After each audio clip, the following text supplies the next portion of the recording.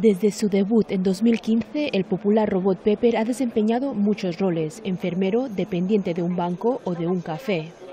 Ahora el autómata de 120 centímetros de altura comercializado por el gigante de las telecomunicaciones SoftBank se puede dedicar también a oficiar funerales como si fuera un monje budista.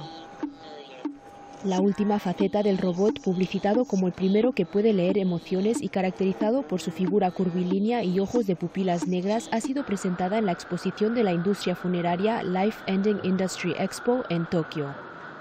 La empresa nipona Nisei Eco ha diseñado un software que se comercializa por 50.000 yenes, unos 386 euros, que permite a Pepper recitar sutras budistas, lo que hace al robot una alternativa más barata que contratar un monje de verdad para un funeral.